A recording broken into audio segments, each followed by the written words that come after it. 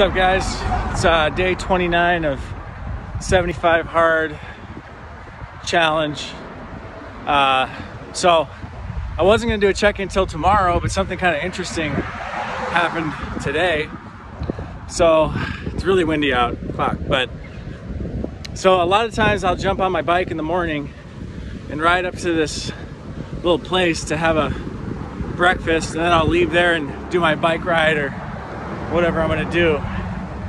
So I go in and I have my breakfast. I come outside, my fucking bike got stolen.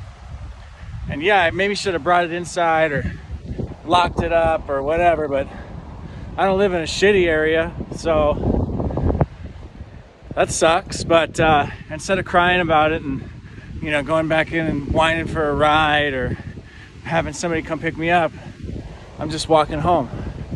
So I get a little extra uh, outdoor workout today than my normal 45 minutes. And I wanted a better bike anyways. So Andy Frisella's 75 hard. That's my check-in for today.